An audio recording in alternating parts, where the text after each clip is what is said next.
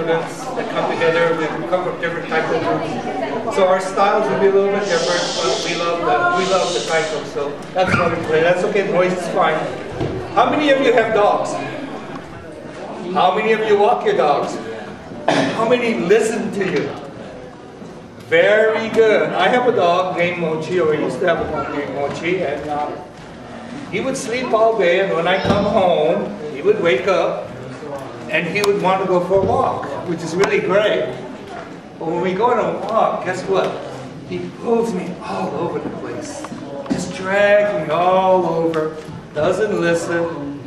I mean, that was before Cesar, you know? So what happens is we come home and he go back to sleep again. So when we put together this music for the children's library, we wanted to see if we could do something in terms of taiko, percussion music, see if we can relate a kind of imagery to the children and see that that's an image, okay, so that's what it looks like.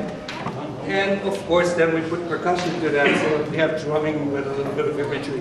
We'd like to do that for you, and it's called Mochi Zure, or Walking Mochi. Thank you.